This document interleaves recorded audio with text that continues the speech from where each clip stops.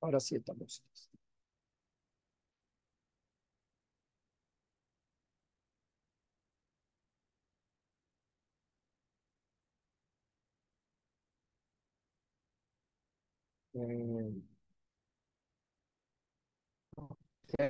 Mis hermanos. Le gracias al Señor. Eh, se ve bien la presentación ahí todo. ¿Alguien me confirma? Saludo, uno, dos. Bueno, sí, Amén, amén, sí, sí se ve bien. Ok. sí se ve bien. Pues nada, mis hermanos, bienvenidos. Entonces, le decía eh, en la introducción que el tema que vamos a tratar hoy son algunas cosas que se deben dar en nuestra eh, predicación como tipo de resultados. Que si esas cosas quizás de alguna manera no se dan, eh, puede ser de que no hemos sido efe- efectivos a la hora de nosotros promo- eh, al- eh, dar la predicación. Entonces ya hemos aprendido, como le decía, acerca de cómo hacer el bosquejo, la importancia de la palabra de Dios y, y cómo nosotros debemos aprender la palabra de Dios para nosotros, para cumplirla y también para enseñarla. Pero hoy vamos a hablar de algunos resultados que deben darse en la verdadera predicación con algunos eh, personajes de la Biblia, buenos predicadores que tenemos en la palabra de Dios y así demás. Pues sin más preámbulo. Iniciamos en esta noche. A ver si mi hermana Eliana nos puede ayudar leyendo lo que tenemos en pantalla. Amén. Primera Corintios 2, del 1 al 5, en nombre de Jesús. Así que, hermanos, cuando fui a vosotros para anunciaros el testimonio de Dios, no fui con excelencia de palabra o de sabiduría, pues me propuse no saber entre vosotros cosa alguna, sino a Jesucristo y a este crucificado. Y estuve entre vosotros con debilidad y mucho temor y temblor. Y ni mi palabra ni mi predicación fue con palabras persuasivas de humana sabiduría, sino con demostración del Espíritu y de poder, para que vuestra fe no esté fundada en la sabiduría de los hombres, sino en el poder de Dios. Amén. Ok, muy importante. Este, este texto es uno de mis textos también favoritos. Lo he usado en muchas predicaciones, hablando de múltiples temas. Y ese texto me, en lo personal, eh, como quien dice, de mucha, tiene mucho que ver, tiene mucha tela por donde cortar. Primero, el apóstol Pablo eh, está hablando aquí acerca de la iglesia eh, en Corintio. Él está presentándose cómo él fue a la iglesia en Corinto, cómo él, como quien dice, fue a predicar en aquel lugar. Déjeme arreglar esto. Cómo él fue a predicar en aquel lugar, en la iglesia de Corinto, y cuando él estaba predicando allá, él se propuso algunas cosas importantes. Y él dice, así que hermano, cuando fui a vosotros para anunciar el evangelio, el testimonio de Dios, no fui con excelencia de palabra o de sabiduría. Si nos damos cuenta, aquí es como un poquito contraproducente de lo que hemos aprendido en este seminario, que en el seminario hemos aprendido el arte de, de hablar bien, el arte de preparar un buen bosquejo, el arte de, de, prepararnos y, y como, eh, seleccionar la palabra que vamos a usar. Pero el apóstol Pablo aquí está hablando de totalmente diferente. Cuando fui a ustedes para anunciarlo, anunciar el testimonio de Dios, no fui con excelencia de palabra o de sabiduría. Es decir, el apóstol Pablo, él está diciendo, yo no me, como quien dice, yo no me, me, me preparé, yo no me capacité, yo no busqué como palabras preparadas para yo hablar con ustedes. Yo simplemente cuando fui a hablarlo de esta, de, de, del evangelio, yo eh, me propuse no saber nada entre ustedes, cosa alguna. Es decir, no investigó, él no averiguó nada. Él estaba como quien dice totalmente ajeno a lo que ellos vivían, pero él solamente quiso saber o tener en mente a Jesucristo y a este crucificado. Y en el verso 3 dice que también estuvo eh, con temor y temblor eh, delante de cada uno de ellos y, y que ni su, ni su predicación, déjenme compartirlo otra vez, que ni, ni su,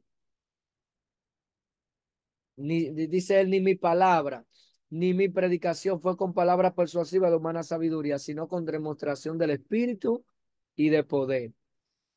Es decir, yo solamente traté de que hubiera, hubiera demostración espiritual en la exposición de mi palabra. Yo, yo quise enfocarme en que el poder de Dios se moviera yo no fui con excelencia de palabra, yo no fui con buena oratoria, yo no investigué a nadie de ustedes. Yo lo que quise es que hubiera demostración del Espíritu y de poder. Y él dice en el verso 5 por qué él quería eso. Él dice, para que vuestra fe no esté fundada en la sabiduría de los hombres, sino en el poder de Dios. Es decir, para que la fe que va a producir la predicación que voy, que le estoy dando a ustedes, esa fe que va a producir en el corazón de ustedes, no esté basada, ay, qué buen predicador, qué buen manejo tiene, qué bien predica, sino que la gente enfoque su fe en el poder que Dios tiene para sanar, para liberar, para romper cadenas, para destruir todo yugo del enemigo. Entonces de aquí nace este pensamiento hoy para compartir con ustedes que por encima de un buen bosquejo, por encima de tener elocuencia al predicar, yo me quedaría también con esta parte que es sumamente importante. No sé qué nivel usted le quiere dar, pero yo le daría hoy que es mejor tener buena demostración del Espíritu Santo.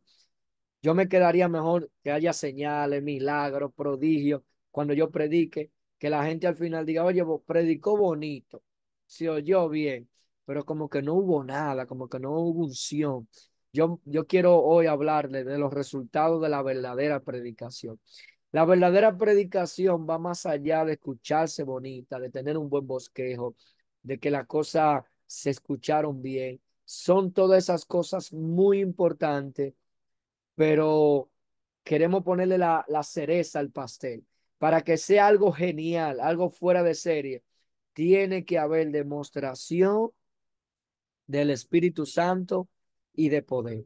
Tiene que haber demostración del Espíritu Santo y de poder. Tiene que haber resultados espirituales en la vida de la gente. Tiene que haber cambio de vida. Tiene que haber transformación de mente y corazón cuando nosotros prediquemos la palabra de Dios. Que no solamente se diga, oye, predicó bonito, se oyó bien, estuvo muy bien su bosquejo, estaba todo muy bien organizado, pero que cuando usted llame al altar, entonces la unción de Dios caiga y la gente tenga resultados espirituales en su vida.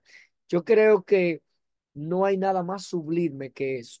Un predicador que tenga un buen bosquejo, que tenga un buen manejo en el altar, que predique un buen mensaje, bien estructurado, bien hecho, eh, bien expuesto, y que después, cuando él termine de predicar y llame al altar, la unción de Dios se derrama, el poder de Dios se derrama y haya milagros, señales, prodigios, salvación, liberación. No hay nada más poderoso que eso, porque ese es como quien dice la cumbre de lo que se anda buscando. Más que un buen predicador también o una buena predicación que se oiga, que se oiga bonito, tiene que haber demostración del Espíritu Santo y de poder. Entonces, Vamos a ver algunos resultados de la palabra que encontramos nosotros en la, misma Biblia, algunos resultados que hubieron a las personas predicar. Eh, tenemos Hechos, capítulo 4, verso 29 al 31. No sé si mi hermana Damaris nos puede ayudar leyendo lo que tenemos en pantalla. Vamos a ver. Usted sabe que soy media ciega y con esta alergia que tengo. Em, dice aquí, en el nombre de Jesús. Y ahora, Señor, y ahora, mira su amenaza. Ah, pues yo tengo un eco por ahí. Y ahora, Señor, hermano. mira sus amenazas y concede a tus siervos que con todo de nuevo hablen tu palabra, mientras entiendes, extiende tu mano. ¿Se me va la, la, la, la cosa que, estamos- que estoy leyendo, lo que estoy leyendo?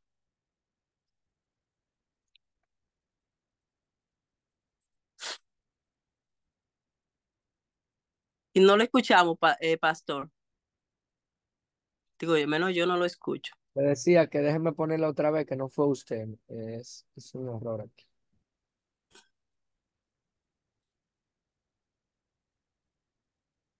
Ajá.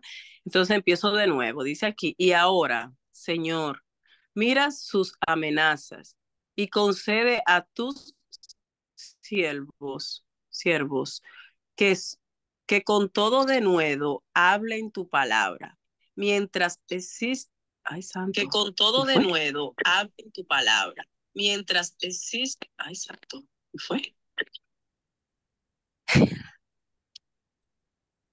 Extiendes tus ma- tu mano para que se hagan san- sanidades y señales y prodigios mediante el nombre de tu santo Hijo Jesús. Cuando hubieron orado, el lugar en que estaban congregados tembló y todos fueron llenos del Espíritu Santo y hablaban con denuedo la palabra de Dios. Ok, muy, muy importante. La iglesia, en, este, en esta ocasión, está la iglesia perseguida, están teniendo muchas persecuciones. Ellos están exponiendo la palabra, predicándole a personas, pero ellos le hacen una petición al Señor. Ellos dicen, Señor, ayúdanos a nosotros poder eh, dar la palabra, compartir la palabra eh, con desnudo, es decir, con esa, esa valentía, esa autoridad. Pero queremos, Señor, que cuando nosotros prediquemos tu palabra, cuando nosotros enseñemos a aquellos que necesitan ser enseñados, cuando nosotros prediquemos a los impíos, a los que no creen, permite, Señor, que se hagan sanidades y señales y prodigios mediante el nombre de tu santo Hijo Jesús. Es decir, queremos predicar la palabra de Dios, pero queremos que esta palabra no vaya vacía. Queremos que hayan sanidades en nuestras predicaciones. Queremos que haya señales en nuestra evangelización. Queremos que haya prodigio cuando nosotros hablemos la palabra. Queremos ver manifestación del Espíritu Santo. Y dice la Biblia que cuando ellos hicieron esta petición delante de Dios y ellos hubieron orado y donde estaban congregados, el lugar tembló y todos fueron llenos del Espíritu Santo y hablaban con desnudo la palabra de Dios. Vamos a ver el próximo texto que tenemos aquí. A ver, no sé si mi hermano David le alcanza ahí para podernos ayudar con ese texto que tenemos en pantalla.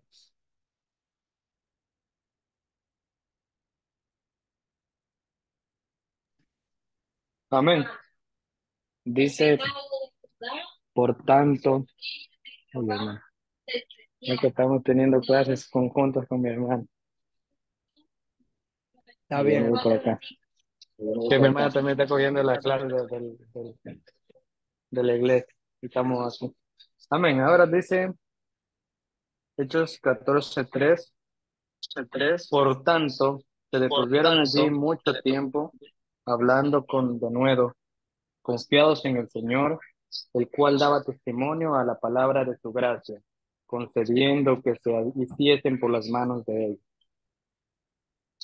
Señales y prodigios. Ok, qué importante, mi hermano. El apóstol Pablo está también con Bernabé en su primer viaje misionero. Ellos estaban en Iconio y en aquella ciudad había muchas personas que escuchaban, pero otros también eh, no estaban escuchando, estaban en contra. Pero dice que ellos se detuvieron allí mucho tiempo, hablaban con desnudo, confiando en el Señor, el cual daba testimonio a las palabras de su gracia. Es decir, mientras ellos predicaban, mientras ellos enseñaban, mientras ellos compartían la palabra de Dios, el Señor puso una gracia concediendo que se hace por la mano de ellos, señales y prodigios. Entonces, los resultados que tienen que haber de la palabra, cuando la palabra se hable, cuando la palabra se predique, cuando la palabra se exponga, tienen que haber sanidades, tienen que haber señales, tiene que haber prodigio, tiene que haber salvación, tiene que haber liberación. Es decir, tienen que haber resultados espirituales, mis hermanos. Tiene que haber, quizás no lo tengo aquí, pero tiene que haber convicción de pecado en la vida de la gente. Tiene que haber cambios, transformaciones.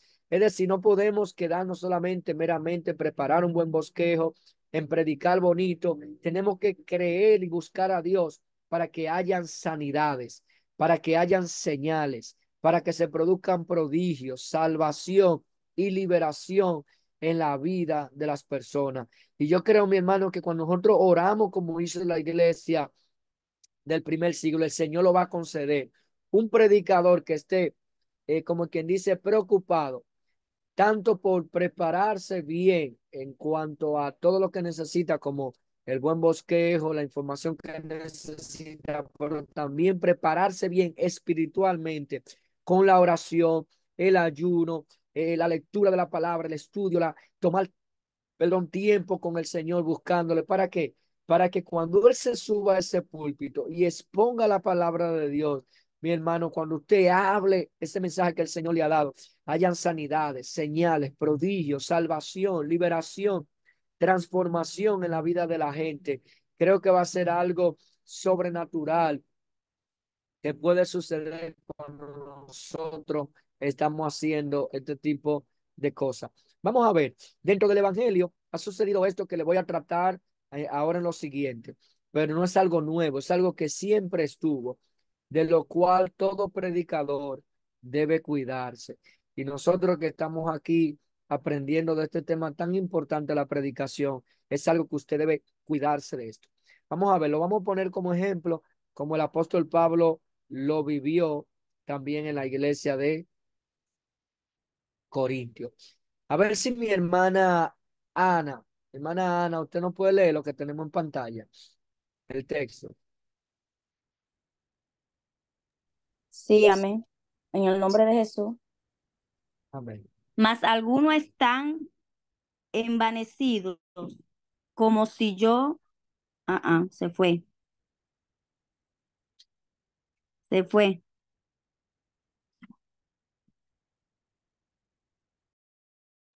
Es un plan, porque cada vez que vamos a leer, déjeme ponerlo otra vez.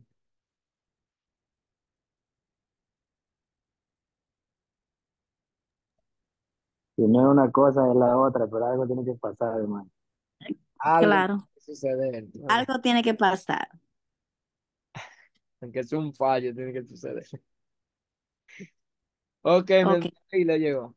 ok, ahí voy. Mas algunos están envanecidos, como si yo nunca hubiese de ir a vosotros. Pero iré pronto a vosotros, si el Señor quiere, y conoceré no las Si el palabras, Señor sino el poder quiere, y conoceré no las palabras, sino el poder que envanecidos, por, porque el reino de Dios no consiste en palabras, sino en poder. Wow, qué, qué, qué interesante, mis hermanos, qué interesante este texto. El, el apóstol. Pablo, el apóstol Pablo está tratando con una situación que hay en la iglesia de Corintios. Hay algunas personas que andan un poco envanecidos. Ellos son los, los, los predicadores del momento, los que se creen que solamente Dios se mueve cuando ellos predican, que ellos creen que son los mejores. Pero el apóstol Pablo dice, iré pronto a ver a vosotros. Si el Señor quiere, voy a ir y conoceré no las palabras, mire qué interesante, no las palabras, sino el poder de lo que andan envanecidos. Qué interesante, mis hermanos, eh, que el apóstol Pablo está diciendo este tipo de cosas. Yo voy a ir a verlo, yo quiero pasar por ahí, pero yo no solamente quiero ir a ver eh, las palabras, Yo no quiero ir a escuchar cómo que ellos predican. Yo no quiero solamente ir a ver eh, el buen bosquejo que tiene. Yo quiero ver el poder que ellos tienen. Y ahí es que hay una gran diferencia entre uno y otro. Podemos ser predicadores que prediquen. Oye, qué buen bosquejo, qué bien. Pero ser un predicador de poder, eso es otra cosa. Entonces aquí yo quiero también alimentarle esa parte en este día, que aprendamos la lectura, aprendamos a organizar el bosquejo, aprendamos eso, pero necesitamos cuidarnos de no llenarnos con esto y pensar que predicar bonito es el todo. Wow. Y que usted le diga, qué bien predicar y nos comencemos a sentir la gran cosa. Dos cosas podemos aprender de aquí. Una, la buena predicación no es solamente que se escuche bonito. Dos, hay que el, el predicador tiene que cuidarse del orgullo. Mi hermano, mire, la, el arma más letal que tiene el enemigo para un buen predicador o un predicador, cualquiera que esté en el púlpito, se llama orgullo. Si no aprendemos a manejar eso, eso nos va a destruir. Porque no hay cosa más que llene el ego humano que usted bajarse de ese púlpito, después de usted predicar un buen mensaje, que el Señor te usó y que la gente comienza a decir, oye, mi, mi hermano, tremendo, qué buen mensaje, Dios mío, Dios me habló, el Señor, mira, mira, hizo sanidades. Eso, mi hermano, comienza a llenarte. Bueno, mi hermano David habla de, de un predicador que él sigue llamado Elías Limones. Yo también soy muy seguidor de él y es un tremendo predicador. Y él dice de este asunto, usted tiene que hacer como el chicle. Usted lo mastica, le saca la sustancia y luego lo bota. No se lo trague, no se trague eso, no se lo crea, no crea que es usted, siempre crea que fue Dios y su gracia que le ayudó. Entonces, la otra cosa es, nos cuidamos del orgullo, pero también necesitamos, como dijo el apóstol Pablo, voy a escuchar, pero no solamente la palabra que ellos dicen. Es decir, cuando ellos vengan a mí, que yo me presente delante de ellos, yo les voy a decir, dígame, ¿qué es lo que ustedes tienen? Que andan envanecidos. ¿Qué es lo que ustedes se creen? Dígame de lo que ustedes tienen. Cuando ellos comiencen a hablar, el apóstol dice, no solamente hablar, no escuchar lo que yo quiero. Demuéstrenme autoridad y poder de Dios. Es decir, hagan algún tipo de manifestación que yo entienda que verdaderamente ustedes tienen de Dios. Y eso, el apóstol Pablo luchó con esa parte y yo creo que la iglesia de hoy está luchando con esto, con mucha gente que busca cualquier cosa que predicar. Mire, mi hermano, lo que usted ve en las redes, lo que uno ve hoy día, de lo que la gente está queriendo predicar. La gente no encuentra de qué predicar, pero es porque quiere decir algo solamente que impresione, que toque, que llene a la gente, porque andan buscando solamente palabra, pero no hay esencia. Y le quiero hablar un poquito más de eso un poquito más adelante. Déjenme ponerle la presentación un poco más para que podamos seguir con, con esto que le estoy tratando hoy. Miren, mis hermanos, cuando eh, el apóstol Pablo habló de eso, lo que él estaba tratando era un tema de arrogancia en la vida de la gente. ¿Y qué es lo que la arrogancia te hace sentir? Lo que dice Gálatas 6.3. Porque el que se cree ser algo, no siendo nada, a sí mismo se engaña. Y eso es lo que el orgullo y la arrogancia quieren traer a la vida del creyente que tú te sientes que eres algo. El orgullo te dice, oye, mira qué buen predicador tú eres. El orgullo te habla y dices, no, mano, no, no, hay otro que predique como tú aquí en la iglesia. Mira, fulano, tú estás sentado ahí hablando, tienes una vocecita que te habla a tu corazón, a tu mente. Y dices, no, mira cómo está este apagado. Si hubiese sido tú que estuviera predicando, seguro que la gloria de Dios se tiene que cuidarse de esa voz. Cuando esa voz suena a tu oído, cuando mira, o cuando te suene la voz que te dice, mira ese, qué, qué mal bosquejo tiene, ni siquiera preparado está. Si hubiera sido tú, tuviera tu bosquejo bien preparado, como ya te enseñaron en el seminario. Tú tienes que, automáticamente, usted escucha esa voz, tiene que reprender eso.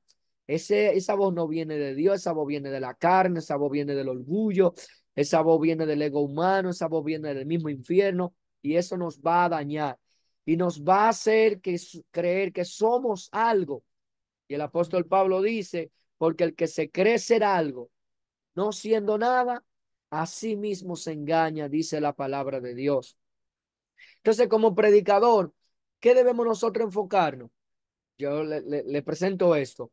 No impresiones, sino transforme con sus predicaciones. Trate de no impresionar a nadie con lo que usted predica. Trate de que la gente sea transformado con lo que nosotros predicamos. Y hay una diferencia grande entre impresionar y transformar. Hay una iglesia, hay una, un, un, un, algo muy grande de diferencia entre impresionar y transformar. El que impresiona solamente emociona, ay, qué bien lo hizo. Pero cuando nuestras predicaciones están llenas y cargadas del poder de Dios, nuestras predicaciones van a efectuar cambios significativos en la vida de la gente. Entonces, hermano, aprenda, mi hermano y mi hermana, a manejar el bosquejo, aprenda a prepararse, aprenda a hablar lo mejor que usted pueda, aprenda a tener los mejores ademanes, aprenda a corregir las muletillas, aprenda a llevar el mensaje lo más claro posible, pero también aprenda a dejarse usar por Dios. Aprenda que el Espíritu Santo hable a través de usted. Aprenda que la unción de Dios caiga sobre su vida y cuando esa palabra salga, salga ungida y transforme y cambie y levante al caído y sane al que esté enfermo y anime al que está desanimado y ayude que necesite un milagro de Dios en ese día. Que hayan resultados espirituales poderosos, mis hermanos, cuando nosotros prediquemos. Yo creo que es algo muy importante que Dios me está queriendo y que necesitamos en este tiempo de nosotros los predicadores, que Dios nos use para hacer cosas grandes en cuanto a esas manifestaciones de Espíritu Santo y de poder. Vamos a ver ahora eh, los resultados del apóstol Pedro en cuanto a algunas predicaciones que él tuvo. El apóstol Pedro, predicando aquí. Vamos a ver, eh, a ver si mi hermana, eh, bueno, mi hermana Ana, mi hermano Isaac, no sé si mi hermano Isaac eh, nos puede ayudar a leer. El pastor dice Hechos 2.40, 41, y con otras muchas palabras testificaba y les exhortaba diciendo, sed salvos de esta perversa generación. Así que los que recibieron su palabra fueron bautizados y se añadieron aquel día como tres mil personas. Ok, qué interesante, mis hermanos. Qué interesante este texto. Qué interesante.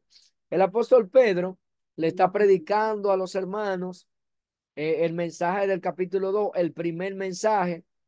Eh, dice que Pedro se levantó eh, lleno del Espíritu Santo porque acababa de descender el Espíritu Santo y a llenarlo a los 120, Pedro se pone en pie y predica un glorioso mensaje. Y en esa gloriosa predicación, él le habla y usted dice, ¿qué fue lo que Pedro predicó? Cuando usted estudia la estructura, el mensaje de Pedro en, en Hechos capítulo 2, usted se va a dar cuenta que Pedro le predicó de las doctrinas básicas del cristianismo. Pedro le predicó de el juicio eterno. Pedro le predicó de la resurrección de los muertos porque él habló de que Jesucristo resucitó. Pedro le predicó de que Jesucristo murió, lo mataron, ustedes lo mataron, pero él resucitó. Pedro le predicó de arrepentimiento. Pedro predicó de las doctrinas básicas que dice en el libro de Hebreo, que en el libro de Hebreo está enseñando a algunos hermanos, dice, ustedes debieran ser maestros ya, pero por la falta de, como de manejo de la palabra, ustedes todavía necesitan leche. Ustedes todavía necesitan que se le hable de arrepentimiento de horas muertas, del juicio eterno, de la resurrección de los muertos, de la imposición de manos. Eso es lo que nosotros conocemos, esa, lista en el libro de Hebreos, lo que nosotros conocemos son las doctrinas básicas y fundamentales del cristianismo. ¿Y qué fue lo que Pedro predicó? Doctrina básica, fundamental del cristianismo. Ahora, ¿cuáles fueron los resultados? De que aquel día los que creyeron al mensaje fueron como tres mil los que, se, que se arrepintieron. ¿Qué hubo ahí? Resultado espiritual. ¿Qué hubo ahí? Una manifestación del Espíritu Santo que tres mil ese día decidieron, oye, hay que bautizarse en el nombre de Jesús. Pero no estamos hablando de que ellos duraron dos o tres meses. No, no, ese mismo día la palabra lo tocó y ellos a las aguas. Eh, fue tanto el impacto espiritual del mensaje de Pedro lleno con el Espíritu Santo. Y hoy, mis hermanos, los predicadores de hoy nos complicamos tanto de predicar tantas cosas. ¿Qué es lo que vamos a predicar? Hemos predicado tantas cosas y algunas veces nos vamos tan a los a, a lo que queremos impresionar que dejamos lo fundamental. Y lo que da resultado es lo fundamental. Predicar lo que la gente necesita. Y ese día, mis hermanos, hubo una, un resultado espiritual que usted y yo lo necesitamos buscar, lo necesitamos buscar en nuestras predicaciones. Yo no solamente como predicador no quisiera que la gente salga de, de, escucharme predicar, ah, qué, qué bonito predicó, se oyó bien, qué lindo, hermano David, hermoso su mensaje, siga así, que está muy bonito, pero la gente se vaya vacío a casa. No. Necesitamos que la gente diga, se oyó bonito, pero se oyó poderoso. Recibí eso que necesitaba. Cuando pasé al altar, es, la unción de, del Espíritu Santo cayó sobre mí, me llenó, me cambió, me transformó, me hizo diferente. Salí diferente del servicio que como llegué. Algo sucedió en mi vida en esa predicación. Vamos a ver eh, otro ejemplo también del apóstol Pedro en cuanto a esta parte de la predicación. Otro ejemplo que podemos encontrar aquí. Déjenme compartir. El apóstol Pedro también en Hechos capítulo 4, versículo 4, a ver mi hermana Damaris, si no, no puede leer. Amén. Dice aquí, pero muchos de los que habían oído la palabra creyeron, y el número de los varones era como cinco mil. Qué interesante, mi hermano. ¿Qué era lo que Pedro predicaba? Tenemos que analizar los mensajes de Pedro porque si en la primera se arrepintieron como tres mil, o sea, se bautizaron. Y ahora los varones que creyeron y el número de los varones era como cinco mil. Ahora, ¿cómo se dio este escenario? El apóstol Pedro va camino a la iglesia a orar a la oración de las tres. Y cuando él va camino a la oración de las tres, eh, por casualidad ahí está el cojo, que siempre está ahí pidiendo. Y ahí está el famoso milagro, no tengo plata ni oro, pero lo que tengo te doy. En el nombre de Jesús, anda. Una señal poderosa, se levantó el cojo, entró saltando al templo la gloria del Señor estaba ahí, la gente mirando ese milagro. Se aglomeró las personas, se aglomeraron, comenzaron a llegar el cojo que tenía quizá tanto tiempo, se llenó. ¿Qué hizo Pedro? Aprovechó y comenzó a predicar. Y cuando él termina de predicar, mis hermanos, que ya también lo, lo quieren llevar a apresar, si usted sigue leyendo el capítulo, él se lo llevan, él se lo llevan a apresarlo a él y a Juan. Pero dice que el número de los que habían oído la palabra creyeron pero muchos de los que habían oído la palabra creyeron y el número de los varones era como cinco mil. Creyeron la palabra, mi hermano, porque hubo una manifestación del Espíritu, hubo resultado en la palabra, porque no eran palabras vacías, eran palabras ungidas. Vamos a ver, mire esta, esta palabra que le he puesto aquí. Tiene mejor efecto impactar que impresionar. Impresionarse es como ver un fuego artificial se ve bien, pero no produce ningún cambio. Y eso pasa cuando nos enfocamos, mis hermanos, simplemente en nosotros eh, impresionar. Más que impresión, yo quiero ver en la predicación cambio, manifestación, que la unción de Dios caiga. No sé cuándo fue ese, esa, esa vez que usted dice, oye, Dios me habló, sentí que la palabra estaba ungida, pero cuando pasé al altar, wow, la unción cayó. Y eso fue algo más maravilloso todavía. Es como, como, es como el, el, la fusión de dos cosas sumamente importantes. Hay veces que hay mensajes que suenan bonitos y están muy bien estructurados, suenan muy bien, tienen buena hermenéutica, eh, tienen buena homilética, se expresaron bien, el boqueo estuvo bien, pero como que le faltó algo, como que algo. Y cuando pasamos, como que estamos ahí, todo fue bonito, pero como que no.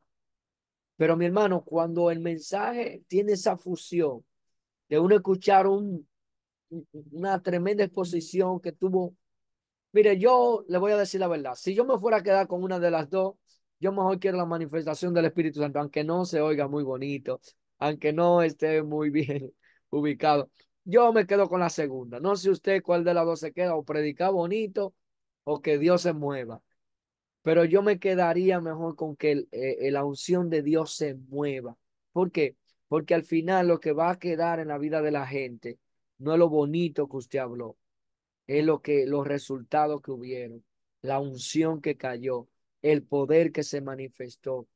Cuántas cosas sucedieron en esas predicaciones. Yo creo, mis hermanos, que Dios está queriendo que nuestras predicaciones hayan sanidad, hayan liberación. Pero ustedes como, predicadores, como maestros, cuando le toque hablar la palabra de Dios, no se olviden de orarle a Dios, de pedirle a Dios, Dios, úsame, úsame para predicar bien, que la palabra llegue, pero Señor, que tu palabra sea confirmada con eh, eh, señales, con prodigios. Señor, sana a los que vayan enfermos. Señor, liberta a los que están cautivos. Señor, levanta al que está caído. Señor, descienda la unción, Señor, y anime a los que están desanimados. Siempre en su preparación espiritual, ore, mi hermano, por esas manifestaciones del Espíritu Santo.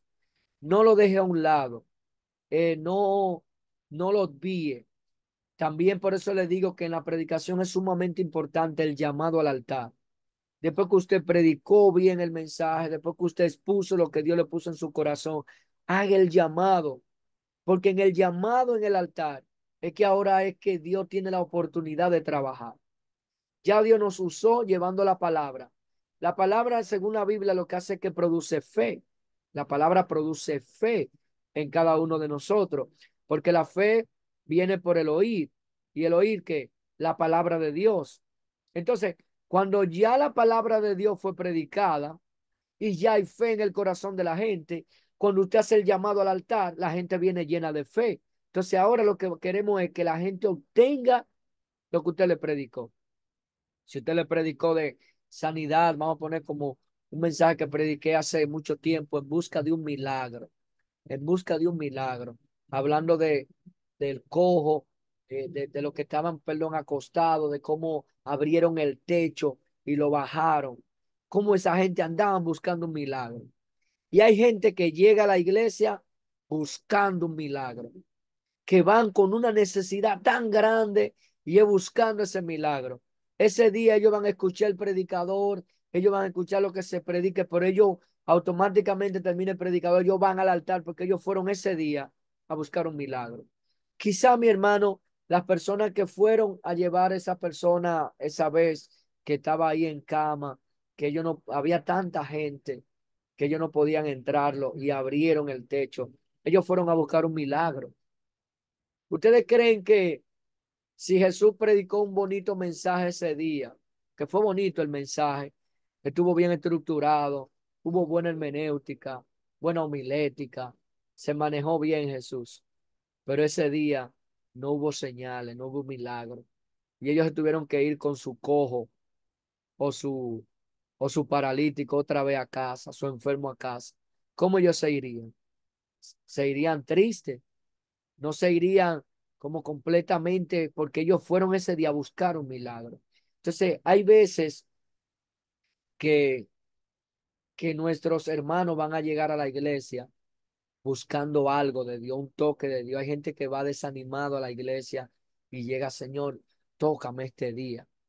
Que lo que la gente vaya a buscar, nuestra predicación puede estar tan ungida que conecte con ellos y ellos puedan conseguir eso. Porque es de suma importancia que nosotros, mis hermanos, tengamos señales, tengamos manifestación, tengamos resultados que dan las verdaderas predicaciones. Entonces, en este día yo quiero dejarle con este pensamiento, dejarlo con esta idea ya hemos aprendido de bosquejo, ya hemos aprendido de la importancia de la predicación.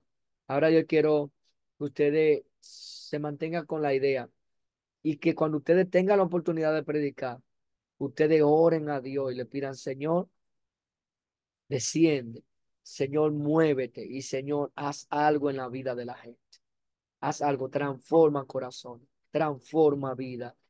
Muévete, Señor. Algo en la vida de la gente.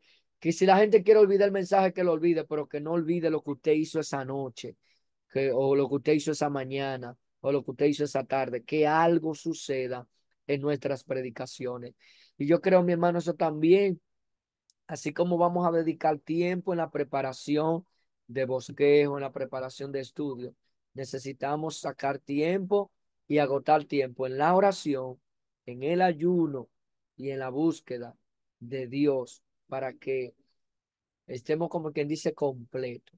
Como dijo el apóstol Pablo, no me preocupé mucho, sino eh, quise presentarle a Jesucristo y a este crucificado para que la fe de ustedes no esté basada en la sabiduría humana, sino en el poder de Dios. Yo creo que Dios quiere usarnos, mi hermano. Usted debe sentir que Dios quiere usar. Usted debe sentir que Dios quiere moverse en las predicaciones que usted tenga la oportunidad. Dios quiere, porque ese día usted es la boca de Dios, usted es quien lleva el mensaje. Entonces, cuando dele la libertad al Espíritu Santo. Y, y algo que pasa en, en muchos de nosotros es que algunas veces nos invade el miedo, nos invade la duda, cuando Dios quiere hacer algo fuera de lo que nosotros conocemos.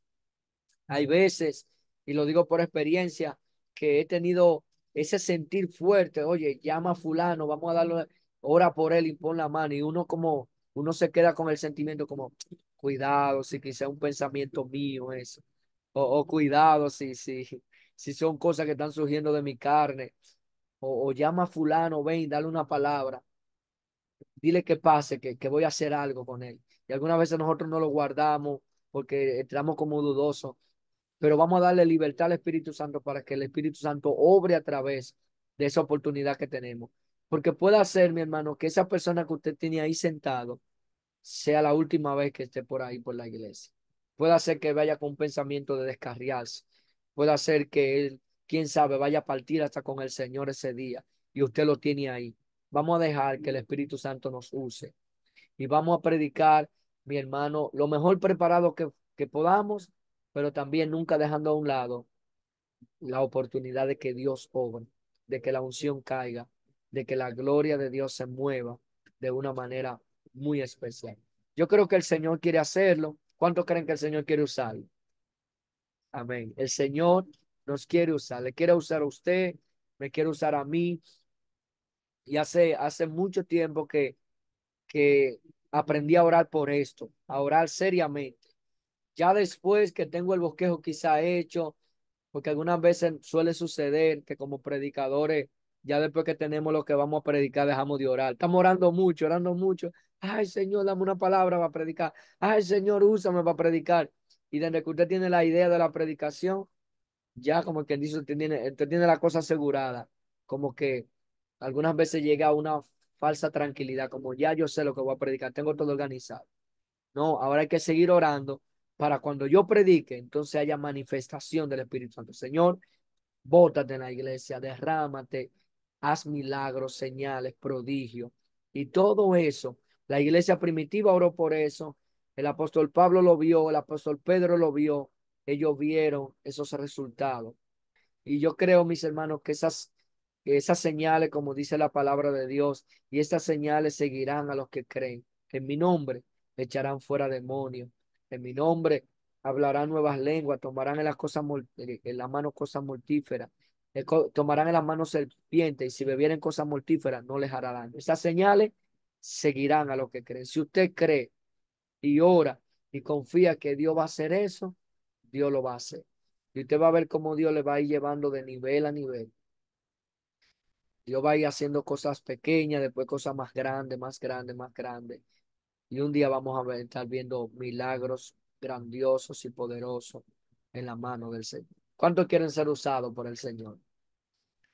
¿Cuántos quieren, Amén. Que el Señor le Amén. con cosas Amén. poderosas. No tenga miedo, el Señor tiene cosas grandes para nosotros y yo creo que Dios nos quiere usar, pero necesitamos pedirle. Alguien dijo que el Señor no va a hacer nada si no es respuesta a una oración. Cuando Él quiere hacer algo, Él pone a alguien que ore. ¿Usted se ha dado cuenta? Cuando el Señor quiere hacer algo, Él lo primero pone a usted que ore. Usted siente, ay, dame orar. Señor, ayúdame en tal cosa y después sucede. El primero te motivó a orar. Dios obra en respuesta a oración de los hijos de sus hijos. Entonces, cuando usted ore para que la mano de Dios se mueva y hayan señales, prodigios, milagros, maravillas, salvación, liberación, el Señor lo va a hacer.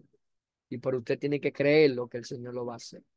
Y usted tiene que pararse ahí con autoridad, con desnudo. Señor, dame la fuerza para yo predicar. Usted predica y usted va a ver cómo Dios va a hacer el milagro. Y ya para recapitular, eh, crea que estos son los verdaderos resultados de una verdadera, o los resultados de una verdadera predicación. Y guárdese de la arrogancia, guárdese del orgullo, guárdese de creer, oye, tengo un mensajazo, cuando yo me pare aquí, predique este mensaje, la iglesia se vaya abajo. Muchas veces cuando pensamos así es que peor nos va. Porque cuando usted cree y confía en usted mismo, el Señor muchas veces lo deja solo. Hay un, para terminar ya, hay una vieja anécdota de un predicador que subió así, muy, muy, muy pavo real. Y cuando se paró allá a predicar, eh, no, no, hermano, se trancó, las cosas no salían y, no sabía cómo hacerlo. Y, y, todo se volvió un problema, se complicó y bajó muy avergonzado, muy avergonzado. Y un anciano le dijo, si hubiese subido como bajaste, hubiese bajado como subiste. Es decir, si hubiese bajado ahí, ay Señor, por favor, úsame y derrámate, humilde, sencillo delante de Dios. Cuando el Señor te use, va a bajar. Wow, el Señor me usó. Fue glorioso. Entonces vamos a acordar de eso, mis hermanos, vamos a ponerlo en práctica.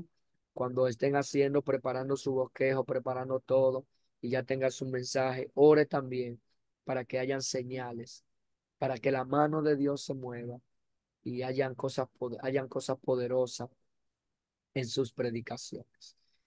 Bueno, mis hermanos, hasta aquí he llegado esta parte de hoy. No sé si alguno tiene alguna, algún comentario, o usted tiene quizá alguna aportación, alguna pregunta o cualquier cosa.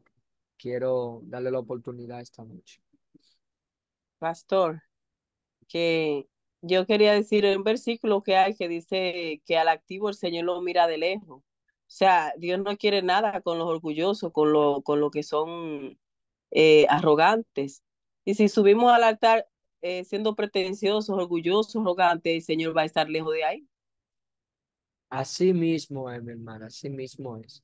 Y le digo esto del orgullo porque es, es una de las cosas que como predicadores uno lucha. Porque, o sea, el, el predicar un buen mensaje y que el Señor te use, la gente te mira diferente. Y cuando tú bajas, la gente te quiere felicitar, como que viene de ti, como algo, como la gente se acerca y te habla. Entonces hay que cuidarse mucho de eso, hay que cuidarse. Y así mismo, porque el activo, Señor lo mira de lejos. Es así como usted dice. No sé si alguien más tiene algún comentario o algo.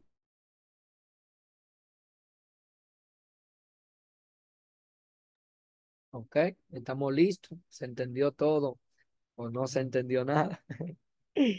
Mis hermanos, eh, hasta aquí ha sido esta clase de hoy. Le dije que, que iban a, lo iban a despachar temprano. Déjenme terminar aquí de, de grabar esto.